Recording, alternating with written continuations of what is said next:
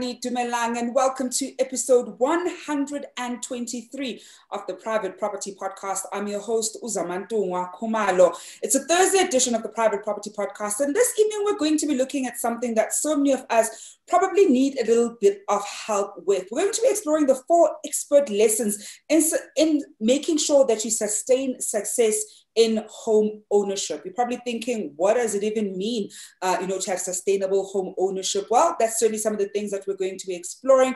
And I'm very excited about the guest that we're going to be speaking to uh, this evening. We're actually having such a great conversation of air that we probably uh, would have continued for hours and end before coming on air. And this evening, I'm joined by Usoli Molefe Sechoaro, who is the founder and director of SetsMol. Uh, good evening, Solly. Thank you so much for joining us. Good evening, Zama, and good evening, the audience.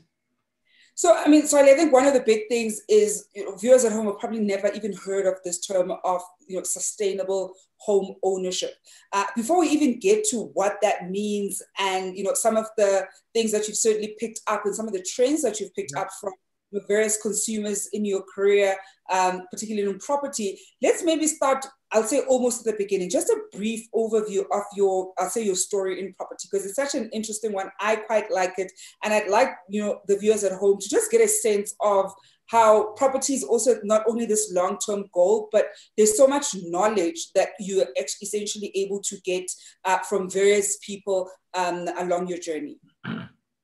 Yeah, Zama, uh, 18 years of experience specializing in, in homeownership, we have picked up that there is a gap in the industry where, especially in the affordable market, where people are illiterate, semi-literate, semi, you know, people are not educated.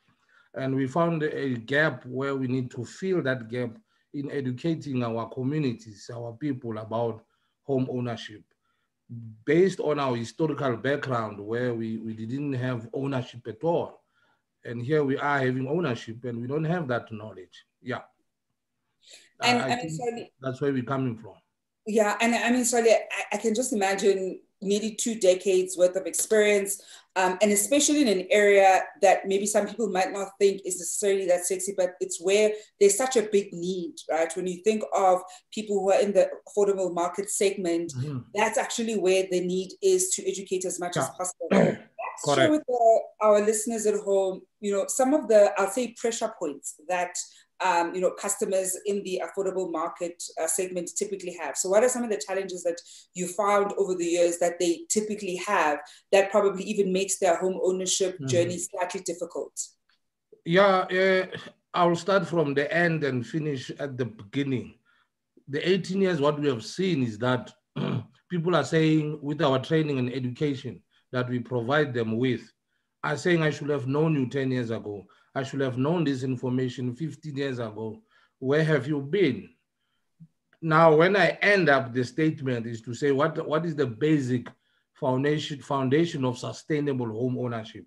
The basic foundation is the four elements that, that we are talking about or the lessons as, uh, uh, uh learned regarding sustainable home ownership. The education that is lacking out there doesn't educate people about the outcomes the outcome of the education is that people don't know their rights, number one. People don't know their contractual obligations uh, uh, when, when they are, do agreements. They don't read documents. People are not accountable into the housing delivery value chain. And, and, and, and at the end of the day, you, you find that people not being responsible. So I, I believe these four key elements or these four elements or lessons needs to be enhanced and reinforced in such a way that there is there is a mutual understanding between all value chain or all stakeholders and the consumer uh, understanding because when we reach when we talk to the consumer we're talking housing we're talking foreign language to them and that's where we fit in as an education. And maybe then, so you know, let's explore those four, mm. uh, you know, essential, essentially yeah. the lessons. You know, you're saying that the first one being sort of rights and responsibilities. Uh, what are some of the pressure points there? What are some of the things that, as consumers, we ought to be mm. knowing about our rights and responsibilities when it comes to yeah. home ownership? Sure, Zama. Yeah. Let's say that let's look at the rights. The first item, as I said, the rights which, which, which our constitution, section 26 in our constitution, it says everyone has got the rights to access adequate housing. And the rights are not being practiced with a knowledgeable uh, uh, responsibilities or a knowledgeable mindset. You know, uh, exploitation is happening out there because of the consumer or the very same role player doesn't have the knowledge. That, that, that's number one on the rights to, to say I can make an example of going shopping, and then you find a teller there talking, not not taking care of you. Your right is to complain and say, but you are not taking care of me. Imagine now in in in, in property or in housing how massive it is. Uh, people can't complain about cracks. People can't complain about this. They can't even read a plan, you know, of a house, a basic education. So we believe that the rights are not being properly adhered to because of the lack of education. That's that's my number one. Uh, number two, which is critical nowadays, is the contractual obligations that have been signed. Uh, we see the consumer signing documents without reading. We see the consumer not even understanding what he's signing because of the pressure of, of owning a house and the desperation of owning a house. And as I said, the historical background of access to housing and politically, you know, there's so many pressures that and, and someone gives an opportunity or a chance to own a house, you'll sign the documents, only to find out at the end of the day, you, you signed your death certificate, you know, and and and and exploitation kicks hit you hard. Uh, what pains me is the repossessions nowadays. You know, uh, uh, there's a there's a dispute of repossessions. There's a dispute of the landlord and the tenants. You know, and, and there's so many disputes because of this gap of education. Uh, now, the responsibilities of, of, of the third one is the responsibilities of owning a house. Uh, our communities there, they still believe in owning houses. That's it. They don't know the value attached. They don't know the monetary value that you need to look after this house. You need to pay your rent. You need to pay for electricity and water. I know I'm touching other people when I talk about electricity and water. You need to, in its studio. Exactly. I whole of yeah is listening okay, right now, yeah. thinking Solly's coming for us, and exactly. they're going to be in the comment section because we've yeah. yeah. you know across okay. the board. It that's, is one of the very contentious ones. That's that's what that's number three, right? Yeah. Now the last one, the accountability. Uh, uh, uh, we saw this one coming in the financial sector, uh, especially if I can quote some some some organizations that are doing a good job there. The National Credit Regulator when it was formed, to say, if I owe you money, I must declare that, I must come forth and, and explain to you that I can't afford. And we can look at other mechanisms to, to, to, to, to, to assist you to pay your, your debt. So we believe the gap of education fits in well there to say your, your, your responsibility and accountability of the agreements you know how I link them? The contractual obligations that you made and your rights coming together. You owe money. This guy borrowed you money. You need to pay this guy. It's a bond, for an example. It, it's it's non-negotiable. You need to pay. Failure to do that, you must come forward. You know what I like about the, the, the financial sector and the NCR is that they said, "Come forward, don't run away." But the mindset of non-payment is still out there. Remember our history, our historic background. We still have that element of of, of I like the word toy toying, you know, using that kind of an element to say people say, no, it's my house. They have no clue about those three elements that I've talked about or those lessons. So I, am appealing to, to, to the audience or to ever to say you can come, you don't have to lose that house. That's why I'm preaching sustainable home ownership has got a solution. If you have challenges, there are solutions. All you need is knowledge. And, and, and these four lessons that we have learned the knowledge that we impart is not being professionalized, Zama. It's mm. been sold uh, at, at a fraction of, of a click of a button. You know, digitally, you go in, you find home ownership everywhere. It's not being professional. My word is not being professionalized to say you can give a certificate on, and say this person knows his what he's doing or what he's getting himself into. And should it happen that he's in trouble, how can he or she be assisted or who to contact, who to consult in, in, in short to say, yeah, people are clueless there. They just, I'm worried and concerned about that. And as SetsMol, we say, we have been in this industry for 18 years. The education we specialize on that. Can they please make sure before they take uninformed decision, you know, because out there is uninformed. Is no, give me, give me, give me. I'll pay, I'll pay, I'll pay. Five years down the line, people are starting to have a dispute. Yeah, my house is cracking, my house is falling, and I can't pay you. Now that's the issue. That's what I'm saying. Fi- financial obligations. Nowadays, people are over indebted uh, people are not paying their bonds. Corona is hitting us left and right. I'm simply saying the education is critical. Get information, please.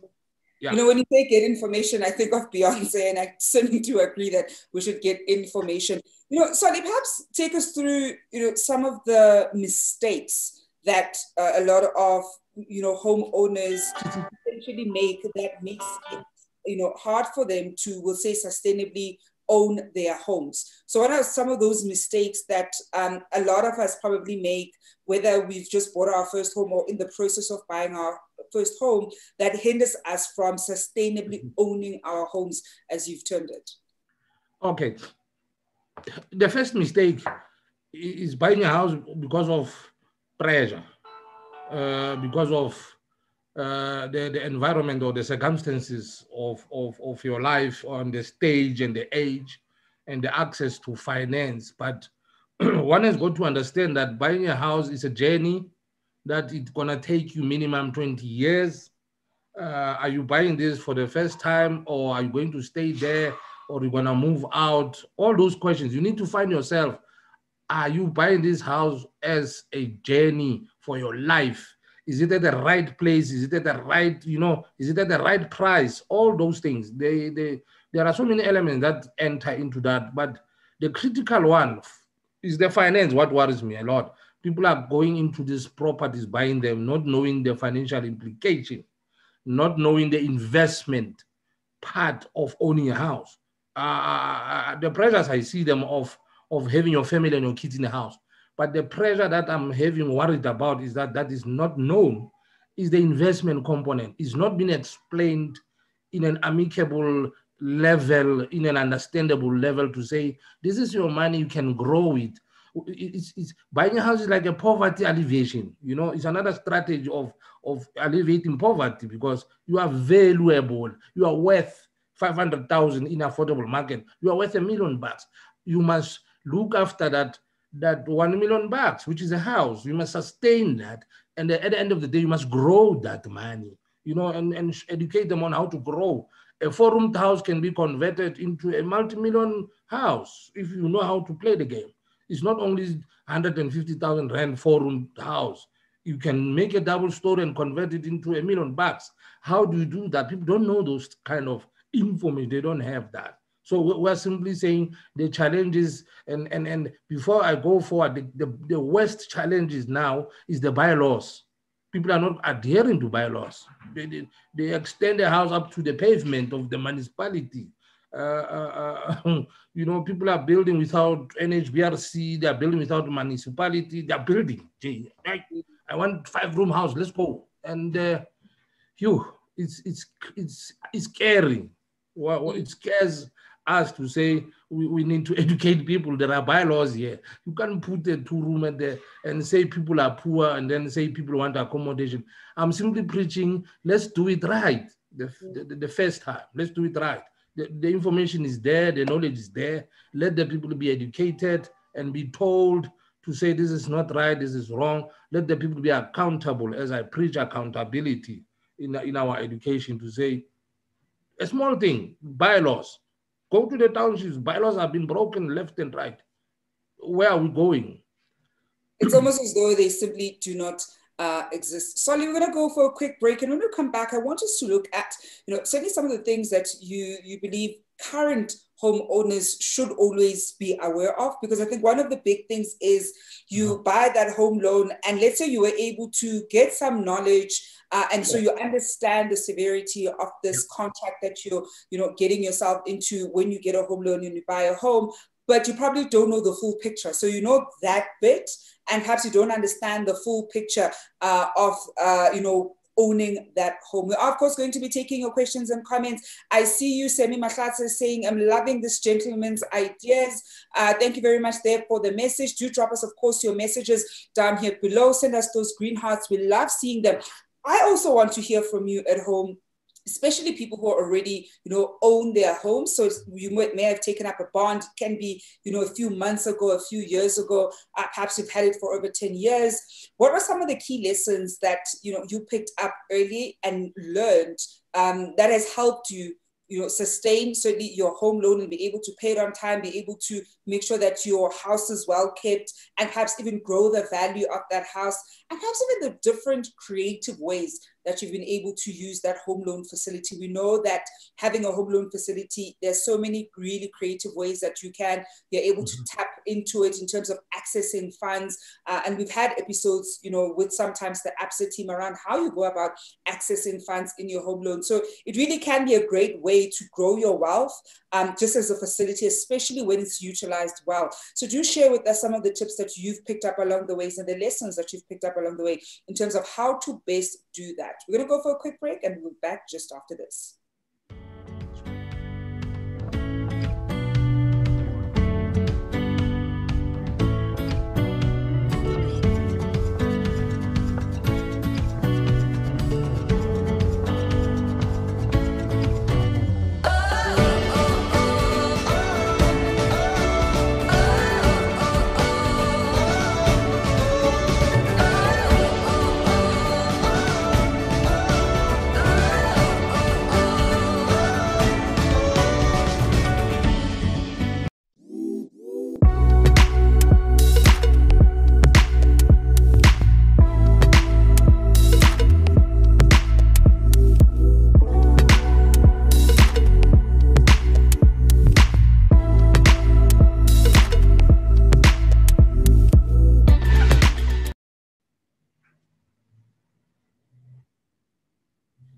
Back to the Private Property Podcast. I'm your host, Uzamantungwa Khumalo.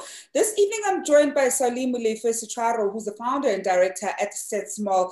And we're talking about, uh, you know, the four expert lessons in making sure that you have success in sustainable home ownership. I see Ubongs Sabakwena, one of our regulars, uh, saying that we've got a legend in the house. Well, Bongs, you know that we do bring you the best of the best. And we certainly always want to make sure that we bring you expert guests to help us navigate our property journey. Sammy Matlata saying, knowledge is power, my good sir. Thank you. Uh, and I love only seeing hearts when, uh, you know, when you guys send us uh, your messages. So do keep them coming, especially those green hearts. We love hearing from you.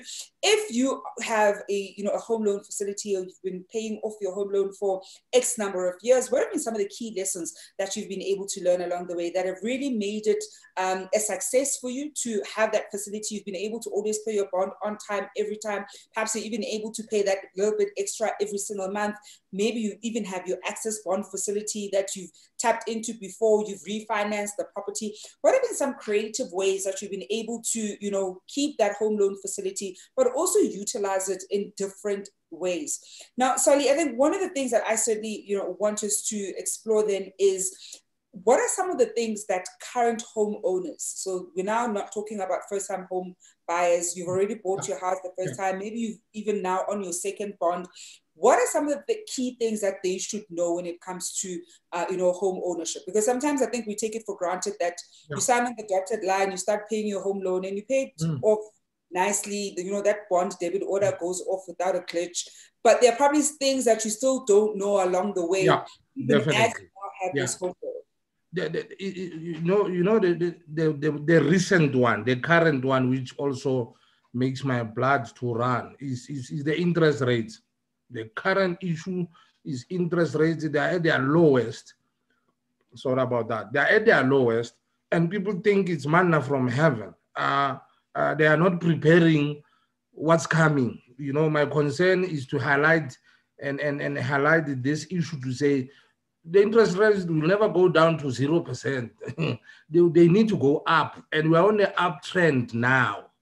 They should prepare for what's coming and adjust. Let me put it in this way some people don't even have knowledge that what is the meaning of interest rates. they don't have even a clue or what does they say, no, well, Tito Mboweni said it, so what? Or Kganyago said it, or what? uh, the impact on their finances. What is worrying is that the impact on their finances nowadays it has been reduced uh, dramatically. People are they are saving close to three thousand from what they've been paying a year ago. For me, my advice for them will be, hey, keep paying at the same level. Don't go down or don't drop your installment. You know, uh, tough times are coming. We are starting the tough times. As Corona fades away, you have seen what happened. People lost jobs. Uh, people there's some there's so much, but based on sustaining your house, the first issue for me will be protecting this interest rate, protecting my installment uh, going forward, ensuring that even if interest rate can come back, can, can come back a year, you know, a year ago they were at about what? 10, 9, 10, 13%. Will they, will I be able in the next coming six months? I'm not even giving you a year, six months. Interest rate is gonna shoot up to back to normal, to back to, to expensive, to back to you know affordability. I'm simply summarizing your affordability in paying your bond should be your priority, Zama. Mm the rest will follow. I usually sing that song. Uh, other debts, I can see them, but my priority for me today, my priority debts is my house bond. The rest will follow. Otherwise, you'll find yourself in the streets. Uh, they will. I, I, don't prioritize the house, please, as number one. The car and other other utensils, other issues the, the, the, necessities, they're not important to me. But I, I see people playing a, a dangerous game where they, they don't take this bond seriously and they, they can be destroyed. I'm not threatening anybody, but I'm simply saying you lose that house, you'll never be granted another bond for the rest of your life. So for me, I'm appealing to everybody, please look at these interest rates carefully and don't play around with your bond installment. Rather, pay extra that's mm. my song nowadays. Yeah. Mm. And it's such an it's such a crucial song, you know, Solly, because I think a lot of people and, and we've even touched on this here on the private property podcast around how false a false sense of affordability uh, is what we're seeing right now in the market. That in as much as interest rates, uh, you know, prime is at seven percent.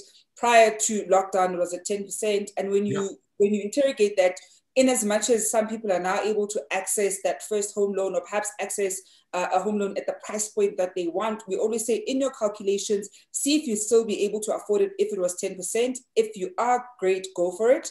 Um, and if anything, that you should be using this period, you should be using to pay as much as possible into that home loan facility because the interest rates are so low.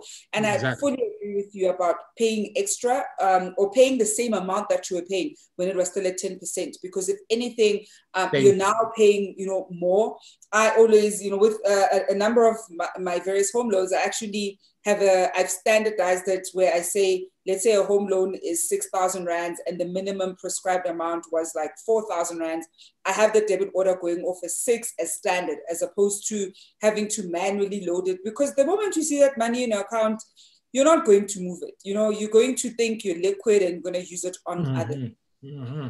We are, of course, taking questions and comments from our viewers at home. And uh, we've got a, a, comment here from one of our regular viewers, Howard Mogetsane, who says, um, it reminds me, it reminds me of the recently demolished houses next to Rosslyn. How do you build without approvals? That, of course, uh, Solly is, you know, he's making reference to how sometimes when people don't know their bylaws and they end up building, mm. you know, the various homes in their yards and don't follow bylaws and make sure that they have the right approvals, then you end up um, seeing that happening. Uh, we've got a question here from Uglad Shirinda, who asks, what are the pros and cons of early occupation before registration? Yeah, uh, you know, when you occupy a house before registration, as I've said, the education part plays a role. Is to is an agreement between the, the, the, the, current owner and the potential owner.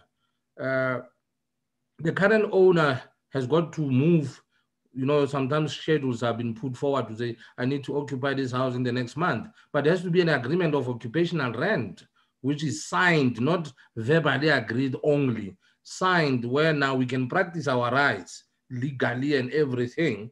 But we see a lot of people saying, if the process is still ongoing and you have signed some agreements, there should be occupational or a lease or a tenant agreement document to say on this day, this month, I'll pay so much. If things change, negotiation still needs to come back and say, I, I, still need extension. The bond hasn't been, the title deed hasn't come up, transfer. It's a process. Remember, it's a, it's a process transferring property to someone else.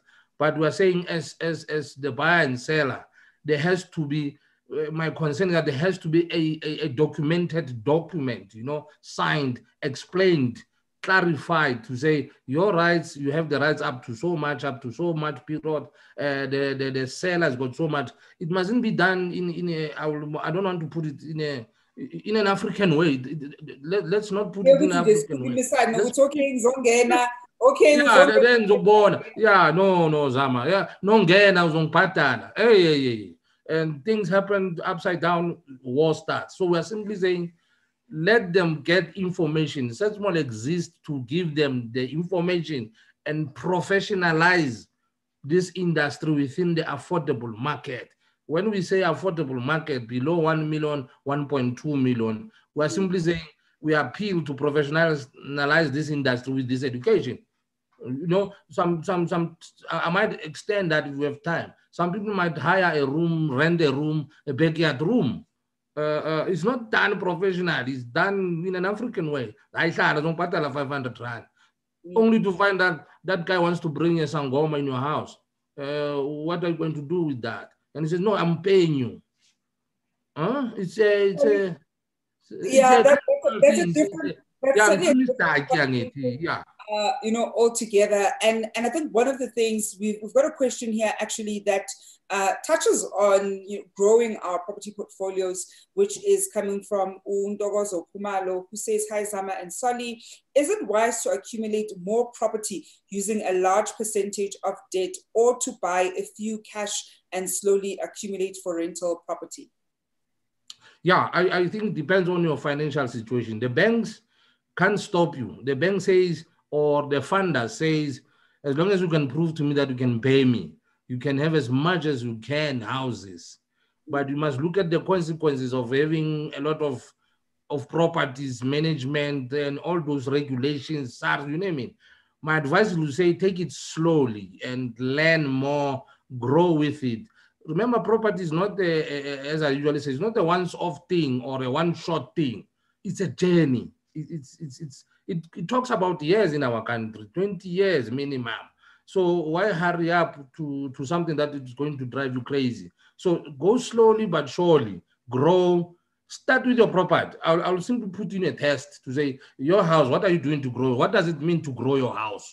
You know, uh, people don't know that the 500,000 that I'm indebted with the bank as a loan, I can convert it into 700,000 in two, six months time what am I doing? It's not, it's not, it's not only that only. It's a lot of renovation, extensions, approved plans. It's a journey. So there's no quick fix in housing. uh, and there's no cash loan or cash cow issue in housing. It's a journey. And we are building, we are building citizenship here. We are building our country here. We need to put a solid foundation, not just uh, random cash cow businesses or what. So I'm simply saying, let's look at an, a bigger picture of we're building a country, we're building humans, uh, citizenships, rights. It's a lot what we're doing, and uh, we need to do it correctly and the right way. Yeah. And Solly, we're certainly going to leave it on that note. We need to do things correctly and the right way when it comes to property. We mustn't take shortcuts, uh, you know, thinking that we're going to make an easy, quick buck. But understand that the journey is a long-term journey. And if sure. anything, it's a marathon. It is not a sprint. We're going to leave it there, Solly. Thank you so much for joining us this evening. Thank you, Zama. Thank you, the audience who watched us. Thank you very much. God bless. And And was also Molefe Sechoaro, who's the founder and director of SetsMol. And that, of course, brings us to the end of the Private Property Podcast with myself, Uzamanto Khumalo. It has been a pleasure being with you this evening. Uh, and I think so many great things have come up from, from this conversation. I think one thing is clear is you want to make sure that you're adequately educated, uh, mm-hmm. not just as a first-time home buyer, which is something that with private property we're quite passionate about. And that's why, of course, we have the first-time uh, home buyers show with SD Clausen every Wednesday, uh, just after the private property podcast. But that when you are already now a home owner, you also understand your rights and responsibilities, what you can and cannot do with the property that you have, and how you can best manage it. Make sure that you grow it and make sure that you are able to, you know, in the next maybe five, ten years, so you've paid X amount and then leverage and then do some of the creative things that we certainly do speak about here on the private property podcast about the creative ways that you can utilize your home loan facility. So those are certainly some things that you should be thinking about, especially when you are in the relatively early stages of your property journey. Perhaps you haven't started actively investing in rental properties, but looking at doing so. So understanding that you should probably take a long-term view on it is something that is quite important. And that's a wrap from me, Zamantungwa Khumalo. I'm back again on your screens tomorrow evening where I'll be speaking to somebody who is no stranger to the Private Property Podcast. And to those of you who've been with us from day one, he was actually one of the first guests, one of the first two guests that we had here on the Private Property Podcast. And that, of course, is none other than Uzek Mieza. We, I will be speaking to him tomorrow evening. So that promises to be a great conversation. Until then, as usual, hoping you're staying home and staying safe.